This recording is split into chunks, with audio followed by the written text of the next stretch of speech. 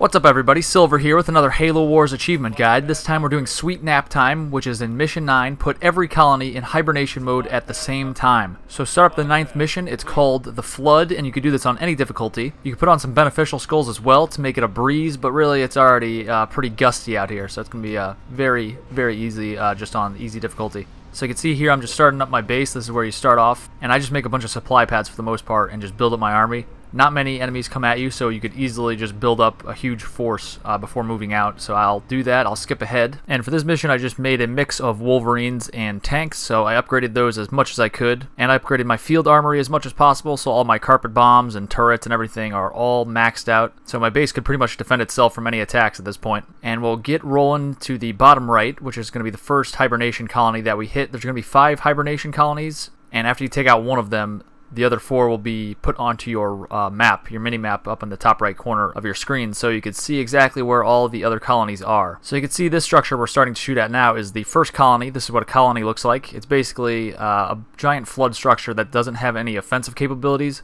but a lot of flood units are produced inside of it and then are released upon you. So if you take them out, they can't produce any more uh, units, and it also weakens the big boss uh, flood guy at the end of this level. So it makes the boss battle at the end much easier. You could take out the boss without weakening him by taking out these colonies, but it's much easier if you do take out these colonies, and obviously you need to take out the colonies for the achievement.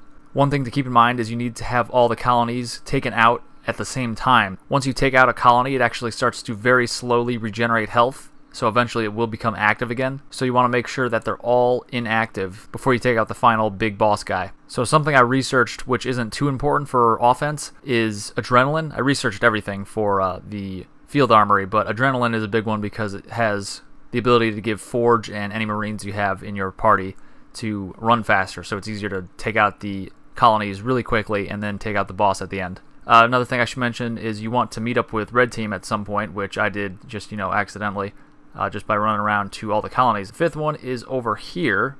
You can see it's surrounded by some tentacles. They're not really doing much damage to me. They're kind of ignoring me, actually, because it's on easy, so not too bad.